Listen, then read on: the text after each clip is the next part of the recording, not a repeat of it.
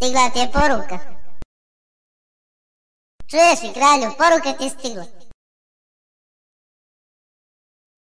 Čuješ li ti jedan poruka ti je stigla, ne pročitat? Allah, poruka ti je stigla, budalo! Pročitaj, guvi!